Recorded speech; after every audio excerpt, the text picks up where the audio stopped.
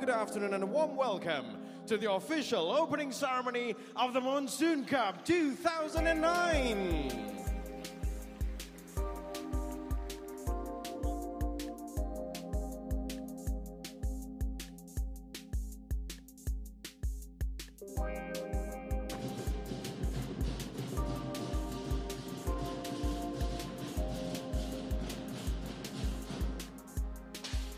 And there you have it, ladies and gentlemen. The Monsoon Cup of 2009 is officially open. The trophy goes up for grabs. The champions will be decided on Sunday, right here on Pulau Duyung. Process here, doing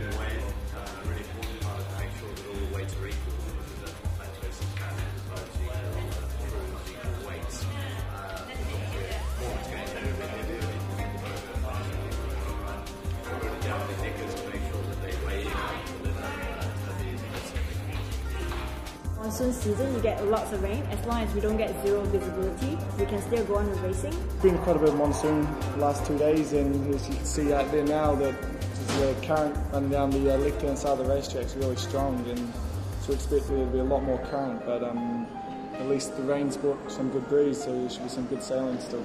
The last uh, four days are raining and four nights, but it's only water and it's warm, so it's not so bad. Last year it rained the same, like pretty much like for three days, but we get many people here. Well, with the breeze, I think it's going to make it a lot more exciting. The rain will put a bit of a dampener, but the breeze is going to make it exciting racing there. So I think everyone will be down here to uh, see some action.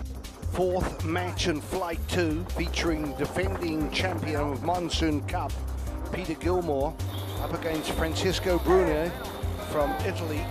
Bru- Bruni's going to be in trouble here, Andy, because Gilmour can fight wherever he wants. Well, well, maybe, but if, if Bruno manages to get out and tag, he may get the right-hand side, and that really is the crucial thing for Bruni. Seconds. He's, he's, I think Bruni's going to be able to tag, and, and there's a penalty. There is a penalty on the play. It's yellow. It's against Bruni. It's against Bruni. This may be red here. I, I kind of think Bruni might have been a bit unlucky there, actually, on that penalty. But he is. Whoa, incident right here, right next to us. Another, another flag. What's it going to be? Oh, it looks like it's yellow again. That's two. Bruni, got to do it. He'll have to undertake a penalty immediately. A penalty immediately, and Gilmour isn't giving him any love right there. He's telling him exactly what he thinks about that little performance. Gilmour now has a lead of about uh, seven or eight bow lengths, so very comfortable, and he is first to the right-hand side. And Bruni still has a penalty against him. So sailing the Richard Miller boat around the top mark, it uh, has really been a case now, follow the leader for uh, Francisco Bruni and his Azura crew. So they'll take that knock on the nose that Peter Gilmour's delivered and regroup and think about flight three coming up. But they're on the downhill slide to the finish. Good news, Andy, it stopped raining.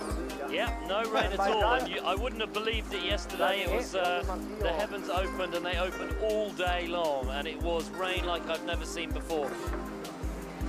And we can see that uh, Francisco Bruni is definitely making a very, he's making his points. Gilmour crosses the line ahead of Bruni, very handy lead.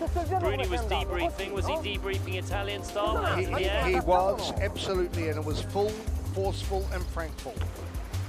Yeah, I, I think it was. Uh, we are almost uh, we're a bit a little bit late for the, the start there, and Cameron booted me into action and said uh, we're racing. And at that point, we just jumped them a little bit, got our bow down, and on the second tack, uh, you know, they clearly are a uh, fouling yacht, so that was pretty much the race.